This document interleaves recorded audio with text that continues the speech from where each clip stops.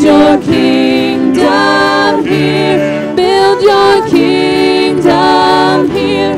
Let the darkness fear. Show your mighty hand. Heal our streets and land. Set your church on fire. Win this nation back. Change the atmosphere. Build your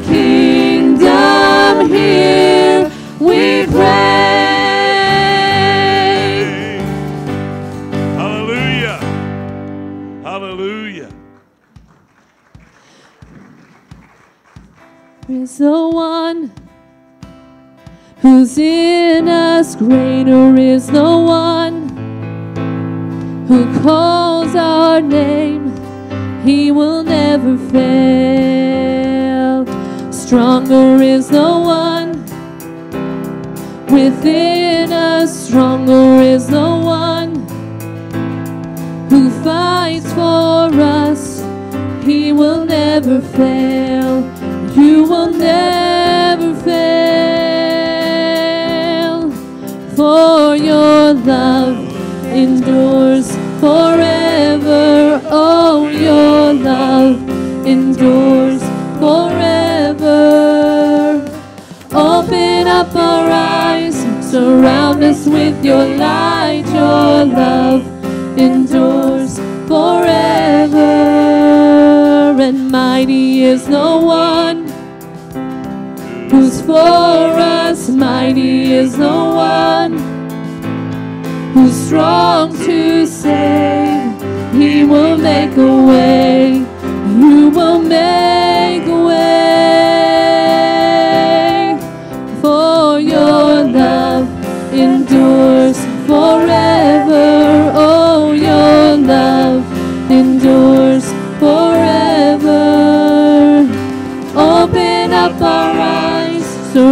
Us with your light. Your love endures forever.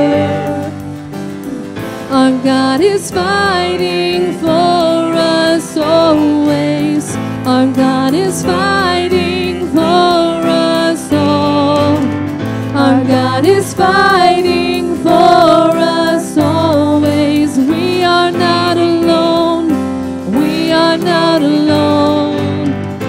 God is fighting for us always. Our God is fighting for us all. Our God is fighting for us always. We are not alone. We are not alone.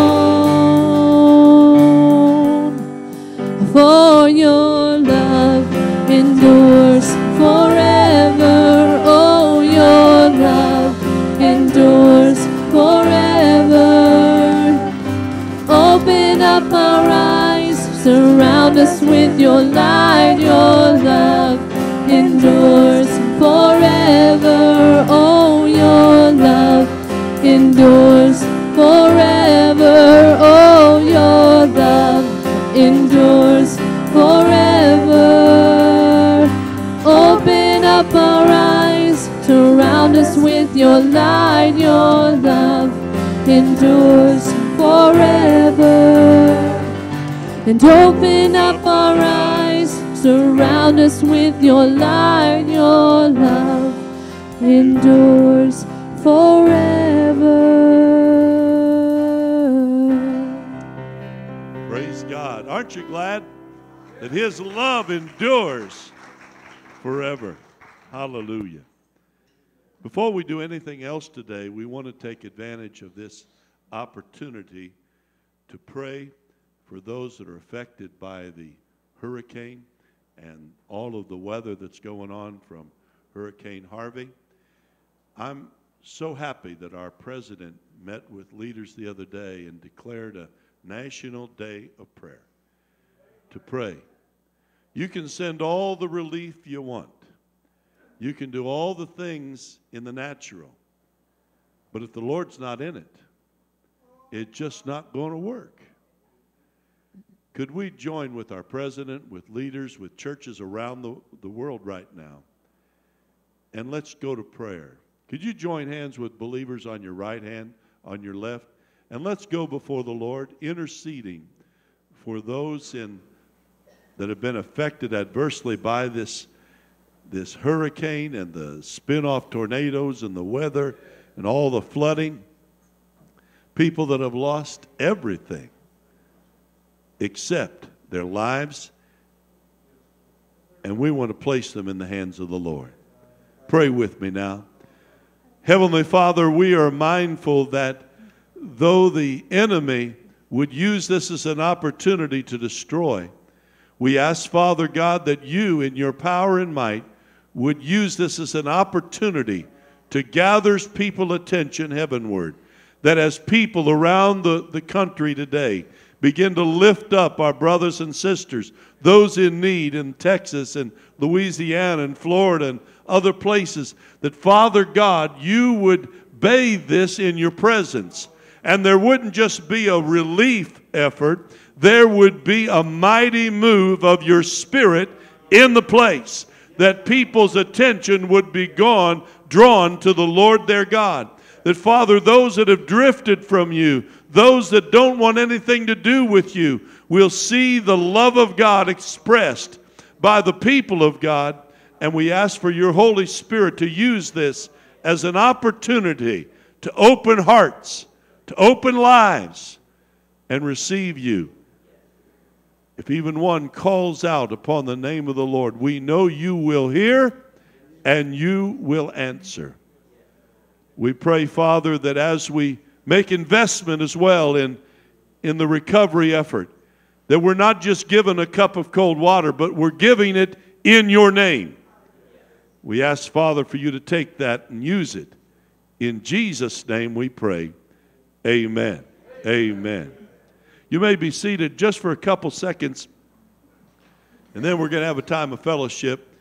But we want you to be aware that in the offering today, if you would like to donate towards the recovery effort, the Assemblies of God has a phenomenal outreach ministry called Convoy of Hope. And if you've seen any news coverage at all, in the background, you've seen some Convoy of Hope trucks. And we're giving out supplies, but we're giving it out in Christ's name. And if you want to be a part of that, you can be assured no scams attached to this. Every dollar, every dime that's going in that direction is going to make it to that destination. On your offering envelope or on a check or whatever, if you simply mark hope. And we'll send it off to Convoy of Hope as soon as we get the, the proceeds counted, and that money will be rushed to assist those that are recovering from this disaster. We also want to welcome everyone. If you're a guest with us here today at Trinity, welcome home. We want you to kick back and feel at home. Uh, we have a lot of our people during this. I hope this is the last weekend for the, the vacations and stuff because we got people scattered all over creation. But uh, you're here, and we're happy to have you. If you're a guest with us today, if you'd reach in front of you at the seat in front, there's a little card called a connections card. We'd like to connect with you and invite you to fill that out. And you can take it with, with you during the fellowship time or drop it in the offering plate later on in the service. If you take it during the fellowship time to the back, we're going to have, if you deposit that back with Mike, and uh, we'll have a free coffee mug for you. And so we, we invite you to just fellowship. Welcome home to Trinity. Right now, we're going to take some opportunity to praise the Lord by fellowship. And we're going to uh, invite you to stand, go out from where you are, and greet one another. You may be talking to someone, this is their first time here. And be sure and talk this brother back here our brother from Pontiac, Michigan. Illinois.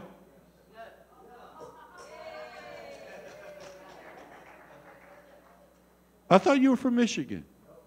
Well, well, my goodness gracious. Well, but my brother shared his testimony. Years ago, he walked into church because of an invitation don't start fellowshipping yet. Sit down, Jim.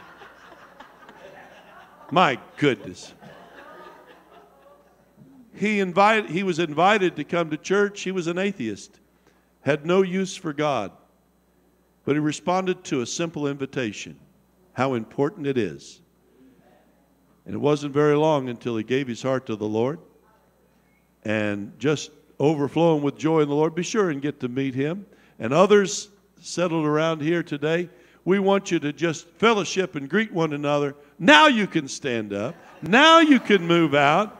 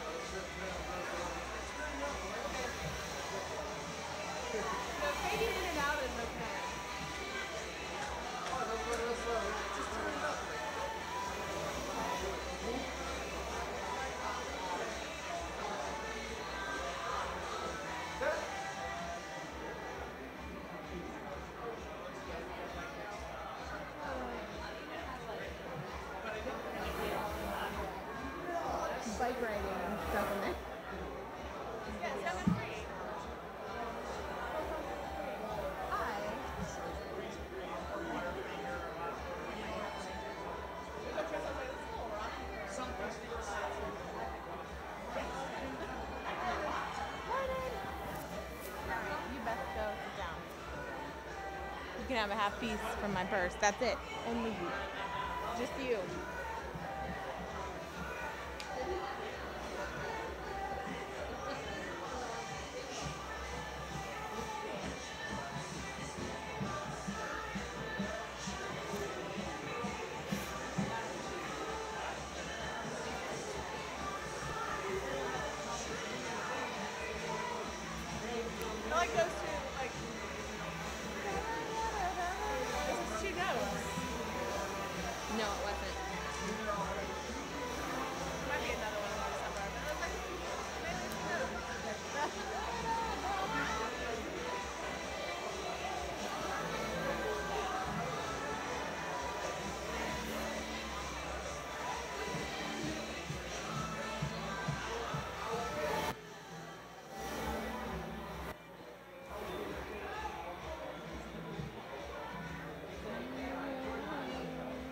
Praise the Lord. Let's stand together.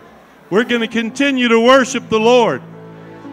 The brethren are going to be up around the altar to pray for you if you have a need, if you have something going on in your life, you need prayer. You don't have to wait till the end of the service. You can come right now and they'll anoint you with oil and believe God for the miracle in your life. If you just want to come and, and pray for others, that's great too. We're going to be singing some old an old song right now that I dearly love. It tells a simple story. There's a blessed time that's coming, coming soon. It may be evening, morning, night, or noon. The wedding of the bride united with the groom, and we shall see the King when he comes. Are you ready to praise him today? The King's coming, amen. Let's sing about it. There's a blessed time that's coming, coming soon. And it may be evening, morning, or at noon.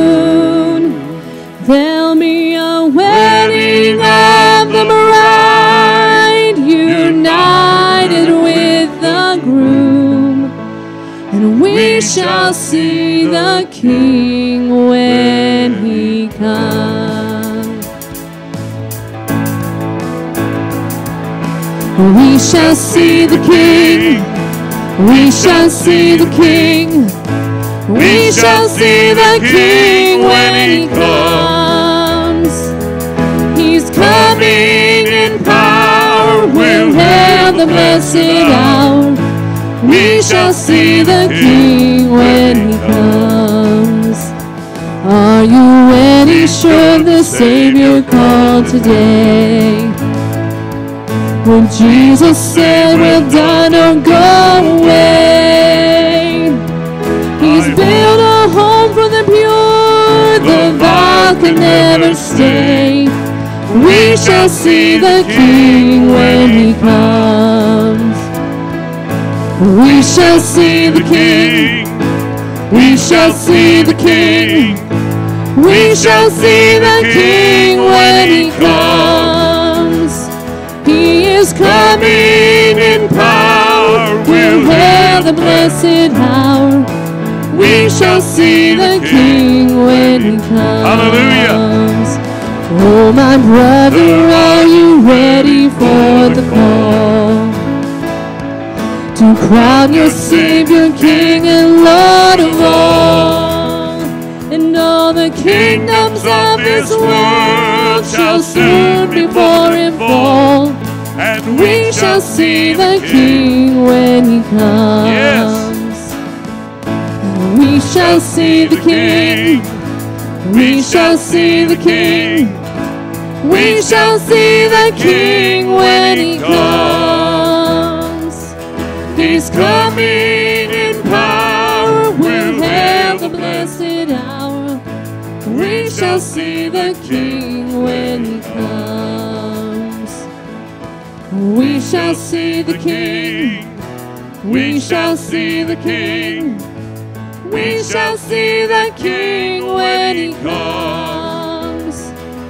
He's coming in power. We'll hail the blessed hour. We shall see the King when he comes. Do you believe it? Oh, give him some praise. Hallelujah.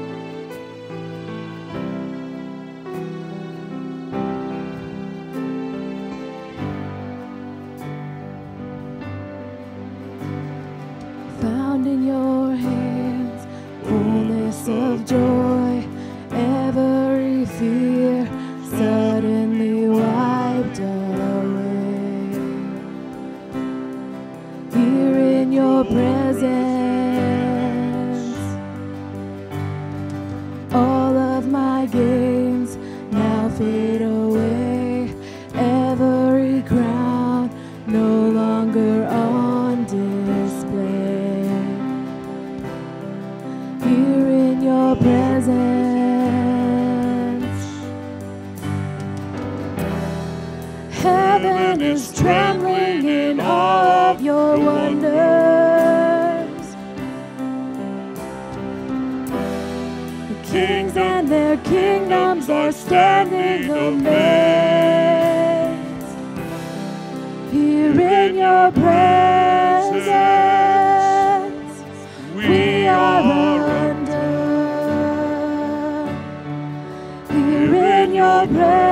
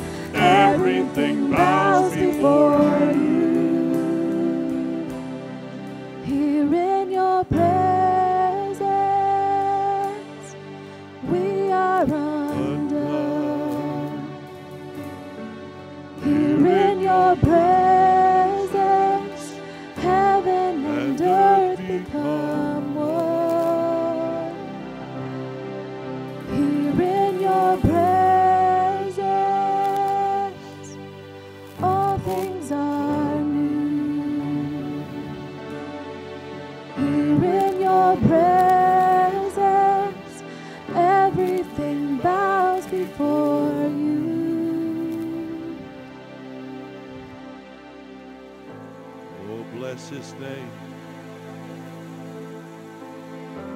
Bless the name of the Lord.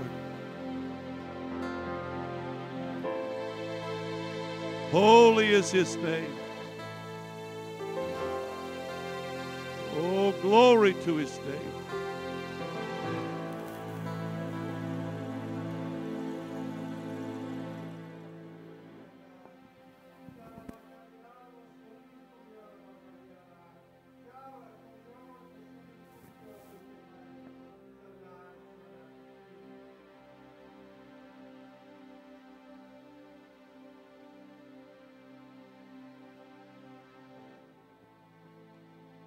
Under his shadow, the shadow of the Almighty, under the cloud of his glory, the Lord has designed that you would abide. Step into his presence. Acknowledge the glory of the Lord. Walk in his presence. Fellowship with the one who created, the one who lives, the one who gives life. But worship the one who gives life eternal through his son Jesus. Step under the cloud, child of God, and find provision. Step under the cloud and find strength. Step under the cloud and find rest in weary times. For the Lord truly is wonderful and glorious and greatly to be praised.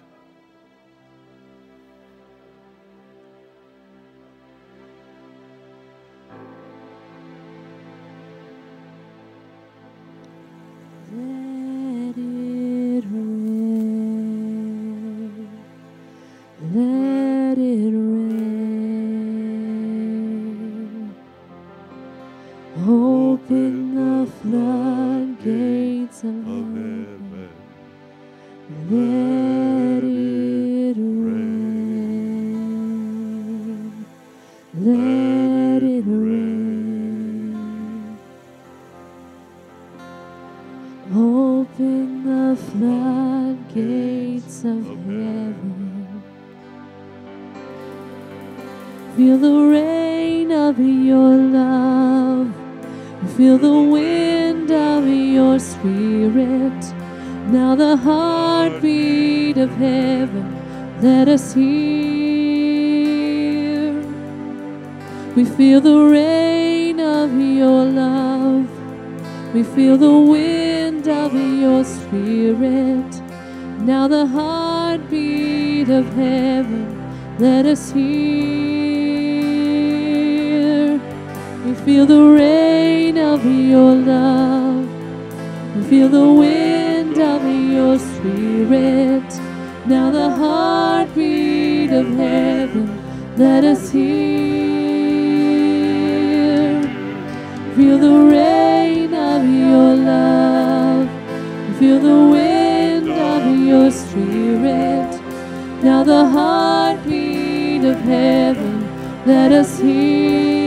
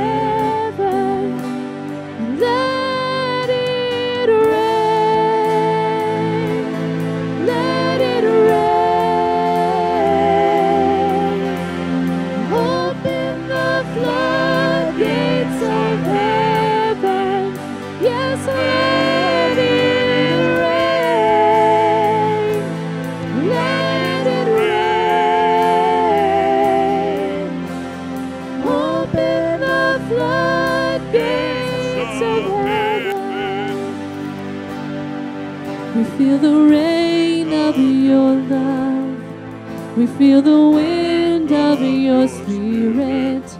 Now the heartbeat of heaven, let us hear.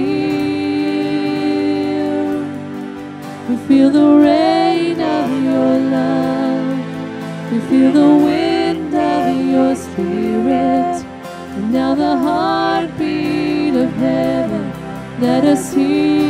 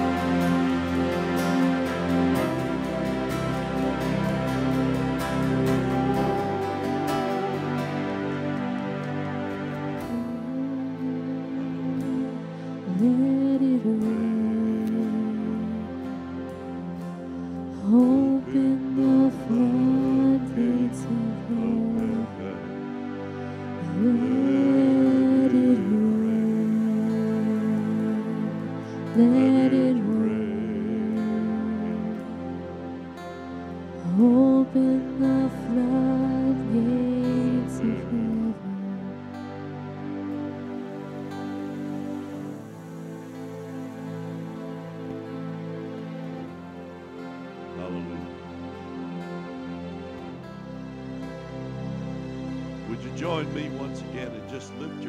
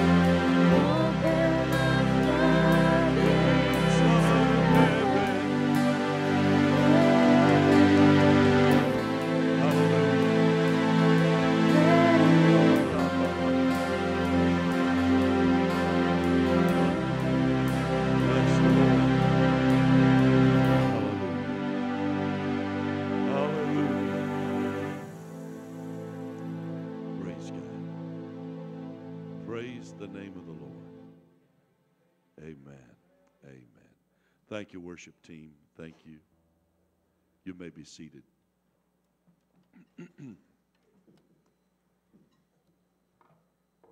the ushers are gathering now. We're going to be receiving our tithes and our offerings. And if you have a special offering to send towards the recovery effort through Convoy of Hope, uh, be sure and mark that specifically on your envelope or your check.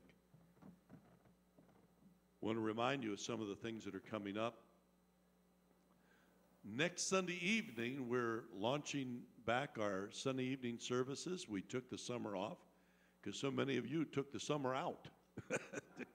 and uh, it just me and me and Tom and, and a couple others, we were going to be here. But uh, so we're launching back, and we have special guests, uh, Blaine and Christine Bowman, and they're coming to share music and testimony and song and the preaching of the word. And you're going to enjoy them. They're just neat people, and they're coming to share the gospel message with you. And then in the following Sunday evenings, we're launching a series on fighting the good fight of faith. And uh, so we want you to uh, give us a try on Sunday nights. Would you do so? And uh, it's another opportunity to share together, to, we're going to hear some powerful testimonies. We're going to be singing praise to the Lord. We're going to be worshiping. We're going to be investing ourselves in growing in the Lord. And so Sunday's a, Sunday night's a great time to come and share. Starting next Sunday night as we launch, relaunch the Sunday evening services. There's all kind of announcements in the bulletin. There's all kinds of things to sign up for at the information desk in the south lobby. And uh, I know some of you ladies have been waiting on this. the second annual Trinity Flag Football Championship. Uh, yeah, yeah, yeah. Yeah. You can sign up for that too. And uh, all kinds of things. Uh, we're having a special men's ministry gathering at Don Perry's. Uh, it'll be 1 o'clock uh, on September 30th at his place, and we'll get you a map and directions. We're going to be sharing down there. He always invites his neighbors in and relatives, and just to have an opportunity to impact uh, friends and family. And we're going to be sharing a special drama that day. He's asked us to come down and bring somebody in my suitcase. Uh, we're going to be sharing about Abraham and uh, an exciting story of Abraham in drama. So you can sign up for that, guys, and and uh, we encourage you to be a part of that. All right. Lots of other things to sign up for and be a part of, but right now we're going to give our tithes and our offerings to the Lord, and we're going to find out who's supposed to pray for us today. And they're not here. All right. Well, I'll pray. I'll pray. We had a great time at the Creation Museum yesterday, and some of them didn't survive. But, uh, but we had around 30 some folk went down, and we had a phenomenal time. And uh, I encourage you to, to make your way down there. Some have already made plans to go back. In the next month or so, we're going to plan on going to the Ark encounter down there. And you'll want to sign up for that as soon as we have the details. Let's pray over the offering today. Father God, you are so good to us. Your blessings are without number. We try to list them, they're like the stars of the sky and the sands of the seashore. But Father God, we thank you that you bless us, but you even bless us more as we participate in your plan for the kingdom. We bring our gifts today, Father, our tithes, our offerings, our love gifts to you, because we want people to know there is salvation in the name of the Lord. There is hope and help in your name. And we give so that these doors can remain open and the lights can be on so that we can shout the praises here in this part of Columbus. But also, Father, we send money around the world so that your missionaries can share the story. We ask, Father, your blessing upon this time of ministry as we minister back to you in praise through our giving. Bless each gift, bless each giver, and bless those that will be the recipients. In Jesus' name, amen.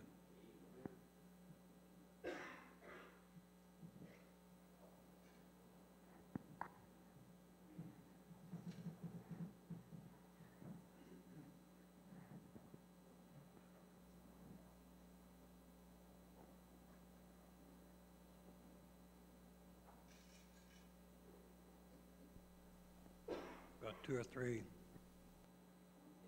tracks that takes a long lead in for 'em. This song is taken from uh, First Corinthians, uh, I believe it's the forty-seventh chapter, with the fifteenth verse. It's about redeemed.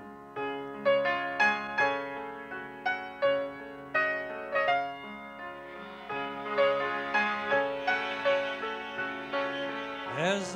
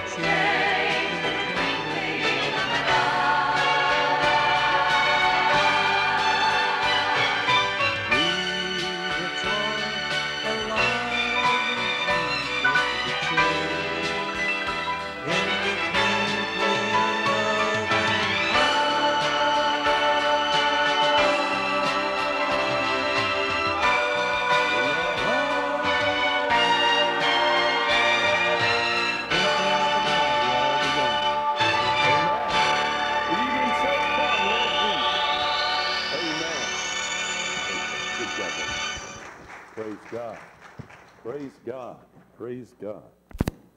Hallelujah. The kids are dismissed. They already left, but I, I'll dismiss them anyway. Kids are dis dismissed to go to their classes. And uh, the Lifesavers children, oh, they hadn't left. Okay. Praise God. Today is a very special day. The first Sunday of every month, we set aside to remember the Lord's sacrifice at Calvary. At the conclusion of the service, we'll be sharing in the Lord's Supper, the, the bread and the cup. But the Lord impressed me today that He wants us to take the message today to focus upon that event and what it means. I do not want to ever be guilty of just going through the motions. Well, we got ourselves a ritual here. We're going to celebrate. Nah, nah. It's more than that. Would you stand with me for the reading of God's Word found in 1 Corinthians chapter 11 and beginning with verse number 23. I encourage you once again, do not just listen to the Word being read. I want you to participate with me in praising God, in shouting the glories of God when we read what it says. And uh, sometimes you say amen, sometimes you say, oh me, oh my. 1 Corinthians chapter 11 and beginning with verse 23. Paul, under the inspiration of the Holy Spirit, writes, For I received from the Lord that which I also delivered to you that the Lord Jesus, on the same night in which he was betrayed, took bread. And when he had given thanks, he broke it and said, Take, eat. This is my body, which is broken for you. Do this in remembrance of me. In the same manner, he also took the cup after supper, saying, This cup is the new covenant in my blood. This do as often as you drink it in remembrance of me. For as often as you eat this bread and drink this cup, you proclaim the Lord's death till he comes. We've been singing about that today. Sherm sang about it. We sang about it, the king's coming. You see, he is coming again. And there's something we're to be doing till he comes back. Verse 27 Therefore, based on this, whoever eats this bread or drinks this cup of the Lord in an unworthy manner will be guilty of the body and blood of the Lord. But let a man examine himself, and so let him eat of the bread and drink of the cup. For he who eats and drinks in an unworthy manner eats and drinks judgment to himself, not discerning the Lord's body. For this reason, many are weak and sick among you, and many sleep or are dead. For if we would judge ourselves, we would not be judged. But when we are judged, we are chastened by the Lord, that we may not be condemned with the world. Father God, as we walk through this word that you spoke through Paul to believers centuries ago, speak it fresh to our hearts today that we might answer the question are we worthy to eat the bread and drink the cup? We ask it in the name of Jesus. Amen. Amen. Amen. You may be seated. Please keep your Bibles open to this portion of God's Word. On this first Sunday, we'll be remembering. So let me, let me uh, help you remember something else. The service isn't over until we've come to the Lord's table today. You say, well, you know, I've got appointments. How many of you have ever gone to a doctor's office and waited long past your appointed time? Anybody here? I mean, it's just a vague estimate, isn't it? I'm supposed to be here. When I went in for the cataract surgery a couple weeks ago, they said, be there at 8.15. Well, you know me. I, I had to be there earlier, and, which meant Linda had to drive me earlier. And we sat and sat and sat and sat and sat and sat. Well, I, I paced. But, but uh, it wasn't a good hour, over an hour later. So you may have an appointment But you know what? What we're going to be talking about is worth the wait. Because Jesus died for it. For you and for me. So don't cut out early. I'm trying to lay enough guilt on you that I want you to see the importance of it. It's not just another ritual. It's not just another thing, churchy thing we do. If it is, we're doing it all wrong.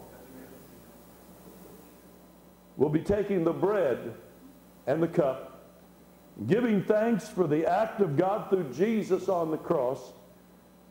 That's what the church is really all about. That Jesus died for our sins. And if we ask him, he will take that sin account and wash it away completely. Have you had that done? Have you invited the Lord to wash your sins away? He paid the price, but we have to ask for him to apply it to our account. Yesterday we went down to the Creation Museum and I had called ahead and I had paid for all the tickets on a credit card. But you know what? When we got there, they weren't going to let us in until we had personally accessed what had been purchased for us. The same thing with salvation. Some people say, well, Jesus died, it's all taken care of. Yes, if we access what he did for us personally. You can't do it for somebody else. A church can't do it for you. A, a little water on your forehead as an infant can't do it for you. You have to invite him to pay your account. And he will. It's not to be taken lightly, though. It's very clear from what we read here. It is not to be taken as just a thing we do, going through the motions. You see, the Corinthian church that this was written to had a lot of issues. They had a lot of problems. On Wednesday mornings, uh, oh, about a year ago, we were doing the, the Corinthian letters, and uh, my goodness gracious, those people had issues. They had problems. I went back over and looked. In, in the, up until we're looking at this 11th chapter, there have been over 30 things the Holy Spirit, through Paul, had to deal with that were wrong in the Corinthian church. That's a whole lot of wrong. Amen. They started off bickering with each other, and he talked with them about it. Bickering and fussing and fighting with each other. They, he went on, and very early in the letter, he says, You know, you've got some really bad immorality stuff going on in your church. And not only that, you, you've got gross immorality, and then you've got uh, adultery going on, you've got incest going on, and worse than that, you're not even doing anything about it. You're letting them still have a leadership position. They're still involved in positions of leadership. They had messed up teachings, messed up doctrines. They were just a mess. By the time Paul's writing this, he has dealt with so much stuff. Let me stop just a moment. Sometimes when I'm feeling a little discouraged, a little down, when problems hit the church, and they all they hit the church, let's face it. Oh my. What you going to do with Trinity, Lord? And he inspires me to read Corinthians. Tells me several things. There's some churches who are more messed up than we are. you know, there's even some people more messed up than you and me. But God is invested in healing his church. He's invested in correcting what's wrong. He doesn't just say, well, enough of that. I'm tired of the church. I'm tired of, of trying to mess with them. No, it is the bride of Christ, and Jesus is going to do whatever he can do. He will empower, he will infuse power to correct the messes in his church. Because he gave himself for it. And he's waiting on the wedding celebration that's coming up in the future the wedding in heaven. God doesn't give up easily on his church. Can you praise him for it? The believers at Corinth Assembly, not only had they done all that other junk we were talking about, I mean, when you read it page by page, they were really seriously messed up. But we get up to the 11th chapter and you say, well, what can they do wrong with Holy Communion? I mean, they meet together. You remember what Jesus, he gave his body to be broken. His hands were nailed. The blood was shed. It, it's so clear. How could they mess that up? How many of you know somebody can mess something up even if they're not even trying to? The Corinthian believers had it down pat. They said, well, you know, we're having this celebration to remember the sacrifice of Jesus. And, you know, some of the Jews in the congregation told them, well, it's all a part of our Passover celebration. And they said, well, let's just go ahead and have a big meal. And we'll have a carry-in dinner, and we'll have a potluck dinner, and we'll, we'll, we'll just have a wonderful time.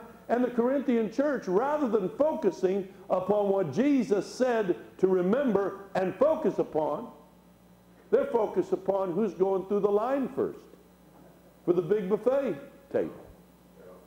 They're feasting and they're pushing and shoving, and, and if somebody got there late, they didn't get anything. That's the reason I started going in the line first around here because so. And Paul, by the Holy Spirit, is saying that's not the way it's supposed. It's not about you feeding your face. It's about you feeding your faith and finding out what the real purpose and meaning of Jesus coming is all about. He said, That which I received from the Lord. Verse 23. It's not from hearsay. God, the Lord Almighty God, spoke this into the heart of Paul to write to the Corinthians. It's not hearsay. It's first hand from the Father. That which I received from the Lord, I have declared to you. I want you to know that we're not getting secondhand revelation here.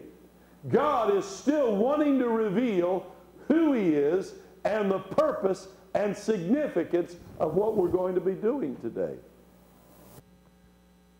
Jesus explained it to Paul. Paul was steeped in knowledge of the Jewish traditions and customs.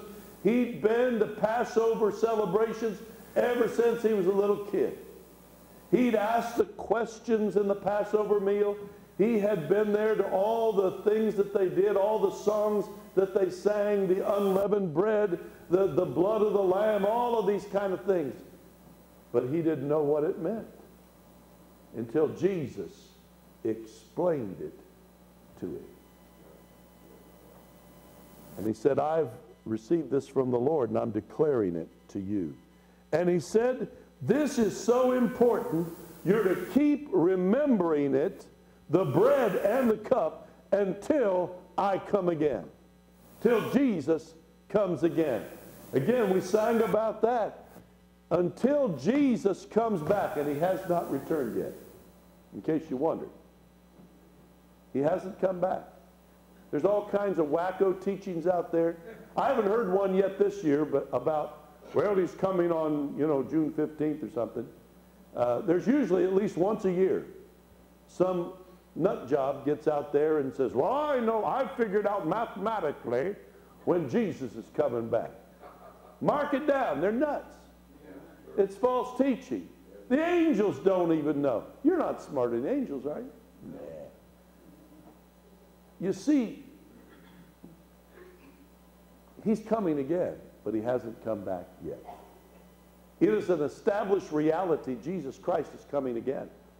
He's going to come. He's going to go out with a shout from heaven, the voice of the archangel, the trumpet of God. The dead in Christ will be reinfused with the spirit that went to be with the Lord when they died. They're going to come back and they're going to rise first. Then those who are alive are going to be instantaneously transformed, metamorphosized. We shall be changed in a moment, in a twinkling of an eye, into a glorified body that can reside in, in heaven and walk on streets of gold and not fall through. But it hasn't happened yet. It could happen at any moment. But until it does, until the trumpet sounds, or until we pass through the doorway of death, we're to keep remembering what it's all about.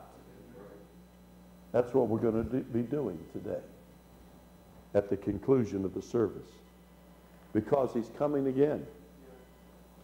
The church needs to be continually reminded what we're here for.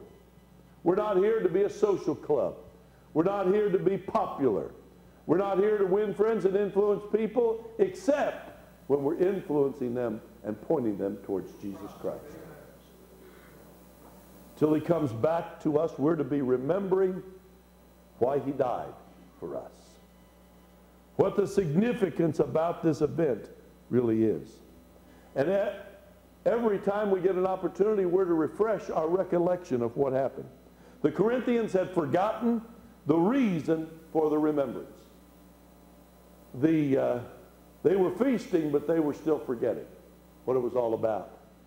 Paul says, I got this directly from the Lord. I'm sharing it with you but it doesn't stop there. He says, you know, how the Lord, on the night he was betrayed, he took bread. We all know that it was the, the bread, the, the hidden bread of the afikomen that's in the part of the, the celebration of the Passover meal. It's taken out first, at the first part of the meal. It's broken, wrapped in linen, hidden. Jesus took it out and said, You want to know what this is all about? You've been doing this ritual, you've been going through the motions all these thousands of years since the Passover in Egypt. I want to explain what this is. And he unwrapped that piece of broken, pierced bread. Unleavened, no sin in it, no leaven of sin. He says, This, folks, is my body, broken for you. And then Jesus took the cup after the meal, it says. The third cup. After the Passover meal was completed, he took the third cup and he says, You want to know what this is? This cup, the cup that's called the cup of remembrance, the cup where the scripture is read with it, I have redeemed you with outstretched arms. He said, You want to know what that cup means? He says, That cup is my blood. His arms would be outstretched in just a few hours from then. He would die on the cross. His blood would be shed. He says, This cup is talking about that event. But it doesn't stop there with explaining about the body, the bread, symbolism of body and bread, and the symbol of the fruit of the vine and the the cup and his blood. He goes on and says, Therefore, verse 27, whoever, how many of you are a whoever? Yeah, every one of us is a whoever.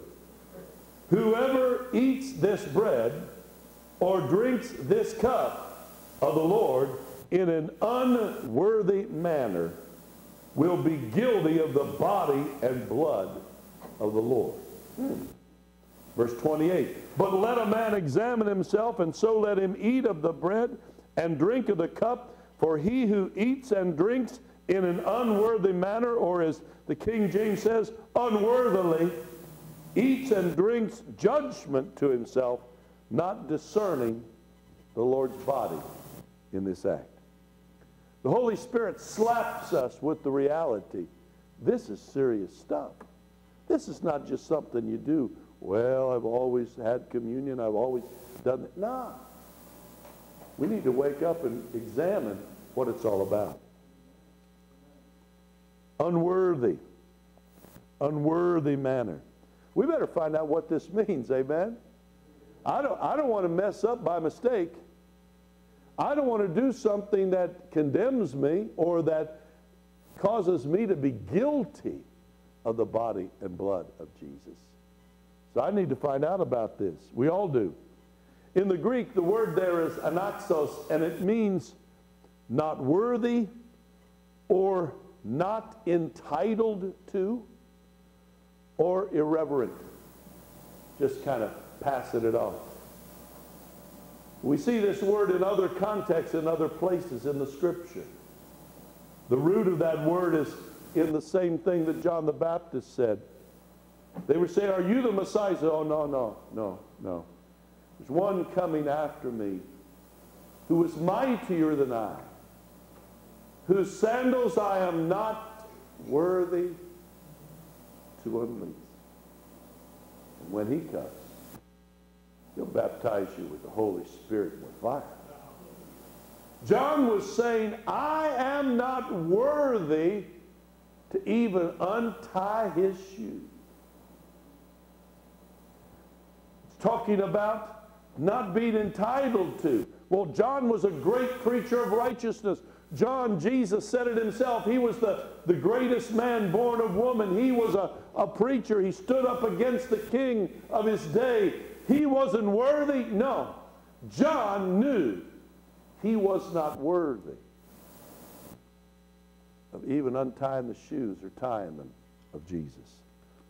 Matthew chapter 10, verse 37 says, Anyone who loves his father or mother more than me is not worthy of me. Anyone who loves his son or daughter more than me is not worthy of me.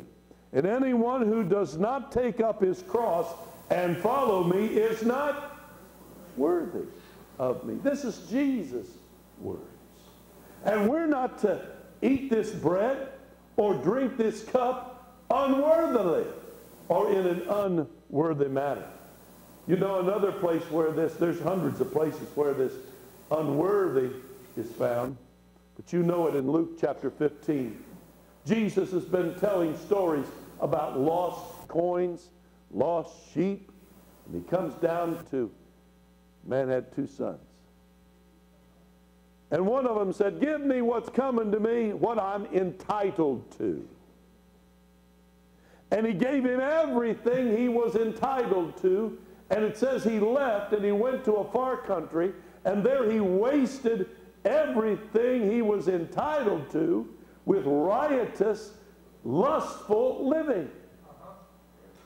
We find out by the testimony of his older brother, he was going to prostitutes and everything else. It was a total immoral behavior, and, and he lost it all, what he was entitled to. And then one day when he was had nothing left, and he's so hungry, he's looking across, and he's gone to doing the worst thing a little Jewish boy can do. He's feeding the hogs. And they're not allowed to eat that stuff. And there's a big old sow looking across to the mud pen from him, and the sow is gobbling down some slop and and he was halfway to reaching and say, that looks good. You know, when you've sacrificed everything, bad things can start to look good. Then it says he came to himself. Amen? He came to himself. And he said, This is stupid. Well, that's not what he, he came to himself. And literally what he said, This is stupid.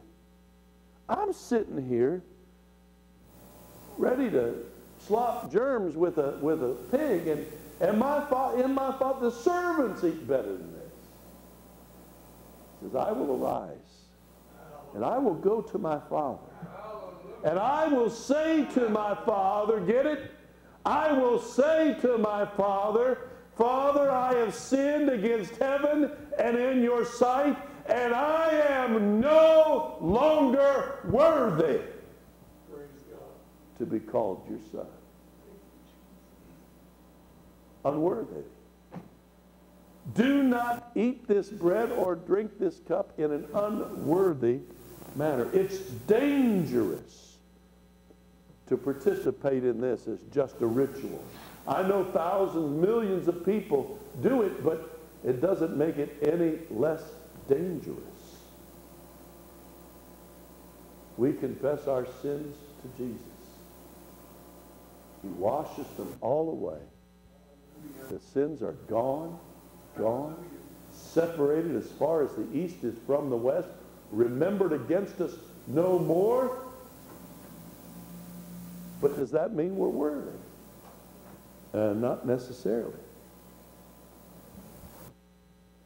I know, how many of you watched some football games yesterday or maybe Thursday night? oh my. They'd take my heart medicine for some of those OSU games.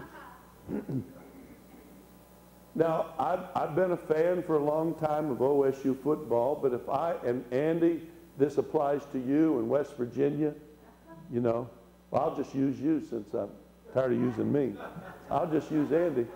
Now, he's a big, you've been a fan of West Virginia football for years and years and years and years. And Andy, because he's been a fan, he could go to the stadium and he could walk up and say, I'm Andy Burner. I have been a fan for years. I'd like to sit in the best box that you have up there, reserved for the, the, the people that have put all the millions of dollars into this complex. I, have been a fan. Can I, can I have my seat now? I'm so, sorry, sir. Andy, you are not entitled to sit in that seat. You, you are not entitled. You can have the tie on and everything, and you're not entitled. But, but I, I've always been a fan. Doesn't make you entitled. Doesn't make you entitled. Uh, well, but, but I'm here. Doesn't make you entitled. Well, I've done many good things. I have I have put decals on my car about this football program. Amen? I've told people about the Mountaineers. Sorry, sir, that does not make you entitled. Somebody comes down from the upper decks and said, Is that Andy? Yeah. He's been trying to get in here. We told him he's not entitled. He says, No, I have here a pass for him. And though he, by his own efforts, is not entitled to sit in the box seat, my invitation to him entitles him. There's nothing you and I can do to be worthy of what Jesus did for us. There's no act that we can do. Well, I've always gone to church. That does not entitle you to sit at the table of the Lord. That seat at the table of the Lord, you're not entitled to receive it. Well, I've done good things. I, I've done all these wonderful things. I have given money to the poor. I have helped people out. I've attended church. I've sung. I've, I've done all kinds of things. I'm sorry, sir. I'm sorry, ma'am. Nothing you can do, nothing I can do entitles me. But if Jesus invites me to sit there because of what he did for me, hallelujah. There's a seat at the table for me. There's a seat at the table for you. There you are entitled not because of what you have done, but what has been done in your behalf. Can you give a shout to the Lord if you've had your sins washed away? Can you give a shout to the Lord if you allowed Him to cleanse the sin away? That He's invited you into close fellowship. You're not just somebody out there that wants to get in, you've been invited in. Hallelujah! Hallelujah! Hallelujah. You are not worthy. I am not worthy because of anything of me. I am not entitled because of anything that I've done. I may have done some great things. Billy Graham could stand up and say, Well, I'm, I'm entitled, but he wouldn't do that because he knows Nothing. Nothing that we can do or have done or ever will do entitles us to come, take the bread and the cup. But you have been invited. You invited to the table the King of glory, Almighty God, because of what he did. Father, I've got a reserved seat. I've got a reserved seat for that one. I've got a reserved place. They can take the bread that reminds of my broken body. They can drink the cup that reminds that my blood was shed, not because of what they did, but what I did in their behalf. You so loved the world that you gave your only begotten Son, that whosoever believes in him should not perish, but have everlasting life. There's a place at the table. Not because of my entitlement, but because of his mercy, his grace, his sacrifice. I was troubled the other day. Have you ever had a song rolling through your head and just could not remember all the words to it? I put it on Facebook and I got several answers, and praise God, some of them knew what they were talking about. I remember years ago going to a Billy Graham crusade. George Beverly Shea stood, stood up to the microphone and he sang this song. It's written in 1948 by Beatrice Bixler. I am not worthy the least of his favor, but Jesus left heaven for me. He died on the cross to be my Savior. I am not worthy. This dull tongue repeats it. I am not worthy. This heart gladly beats it. Jesus left heaven to die in my place. What mercy, what love, and what grace. We're not worthy, folks. So how, how can we go? How can, it says, if that person eats the bread or drinks the cup unworthily or in an unworthy manner, if we believe we're entitled to it, we are unworthy. But if we're responding to his invitation, my child, come and remember what I did for you. You weren't there, but I was there in your behalf, says Jesus. No, I am not worthy. But Jesus has extended the invitation to me and to you by what he did. He deems me worthy because my sins, which would keep me away, have been taken away themselves. I can sit at the table. Amen.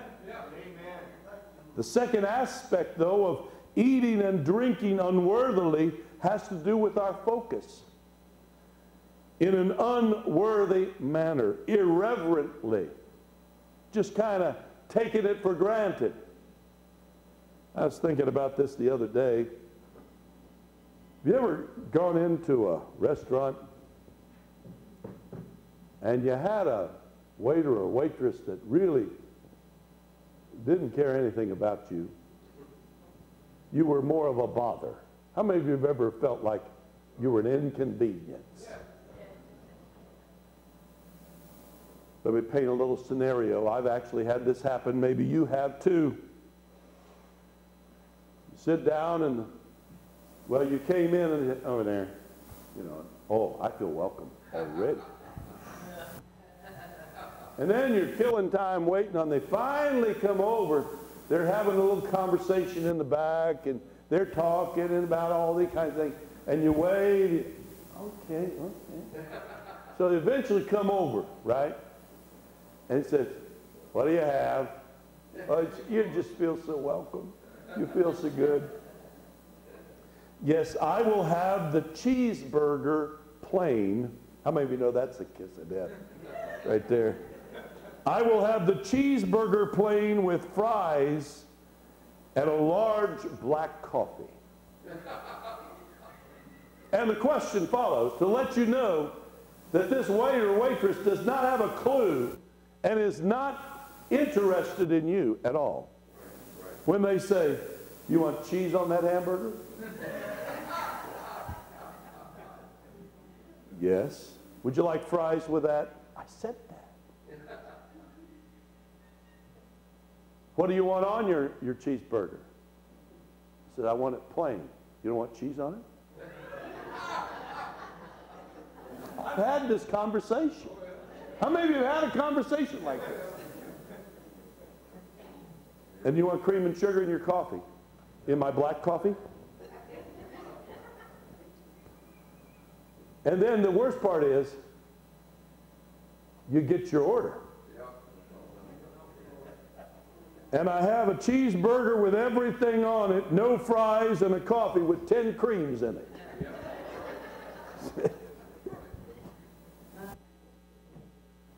that waiter, that waitress, was distracted on other things. Their focus was not upon being served. It was not upon the, the issue at hand. Folks, we cannot afford to approach the Lord's table, even though He has called us worthy. We cannot afford to approach the Lord's table in an unworthy, irreverent manner. Could you imagine? Use your imagination. You say, Well, I don't have an imagination. Oh, yeah. Yeah, you do. You looked in the mirror this morning and said, Yeah, pretty good. Yeah.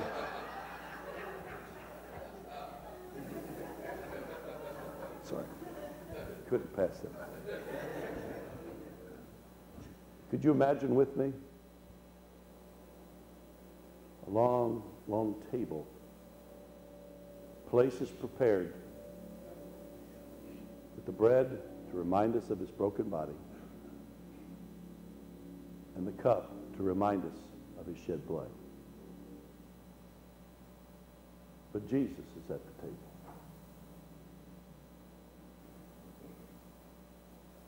Jesus is walking the aisles today, ready to bring you to the table, where's your thoughts? What are you thinking about? What, what's running through your mind? Some are scrolling through phones. Well, it's not making any noise. I'm texting. Jesus must be so thrilled to know that. Jesus, a text is more important than giving reverence to what you did for me. Hmm. You say, well, I would never say that. No, but you do it. Folks, we need to be cautious lest coming to the Lord's table, we forget what it's all about. We do not want to take the bread in an unworthy or an irreverent manner. We don't want to suggest that, well, I'm just going through the motions. We do this every month, uh, yada, yada, yada. No, he says, when you do this, you need to discern Jesus' body and blood were laid on the line for you.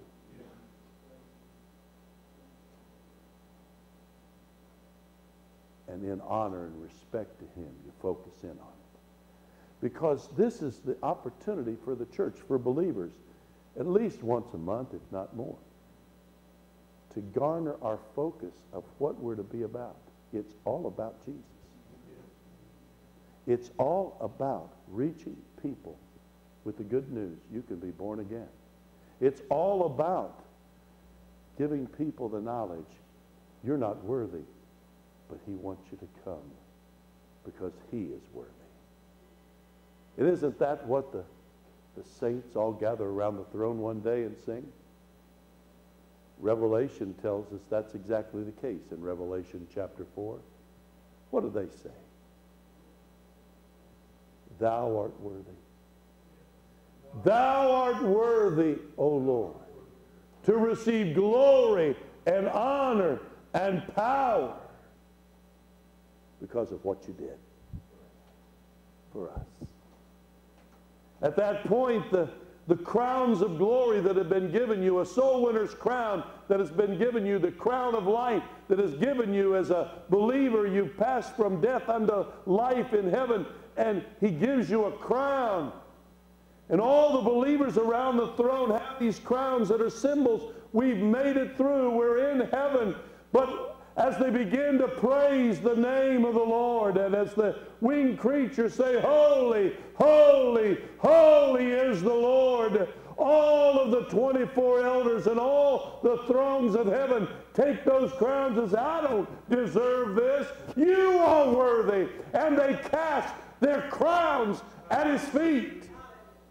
He is the worthy one.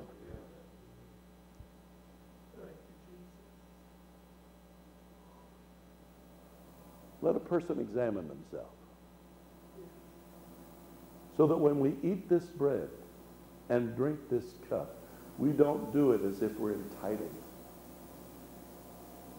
Well, I'm a good person. I give so much. I do so much. I, I've been a nice guy, a nice gal. I, I, I just, I'm just a phenomenal person. Everybody calls me friends. I have 5,000 likes on Facebook. I must be wonderful. But you know what? It's nothing to do with that. You and I are not worthy, the least of his favor. But Jesus left heaven. He's the worthy. And when we come to the Lord's table, not because of our worthiness, but because of what he's done for us, he extended the invitation. And as we gather, we focus in on what it's all about. We don't just let our minds wander around and, and fix on everything else. Well, you know, we got to get out of here. I mean, the Baptists are going to beat me to Bob Evans, and, and you know, and I, I'm going to have to stand in the back of the line at Golden Corral. You know, come on, hurry it up. You know what?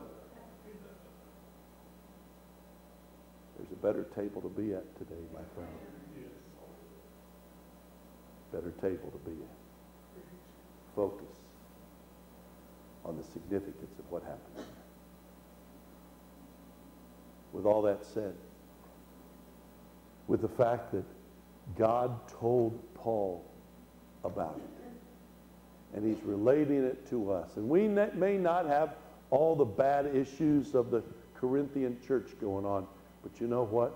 We're prone to them. It could happen here in your life. There, but for the grace of God go we. I have good news. Jesus invites you to the table today because he is worthy. He laid down his life's blood. His body was broken. He was, as Isaiah said, wounded for my transgressions. He was bruised for my iniquities the chastisement, the beatings, they were upon him. By the stripes across his back, we are healed. As often as you eat this bread and drink this cup and discerned it was Jesus that did it for me, you're to do so until he comes back for you through the grave or through the cloud, doesn't matter. He's coming back for his own. Would you stand with me, please? As the worship team returns, our invitation will be in the pews today, right where you are, as the brethren come to serve you these emblems. We're going to pray first. And as these symbols of his broken body and his shed blood are passed in front of you, examine yourself before they get there. If there's anything that you feel entitled to, lay it before the Lord right now because you're not.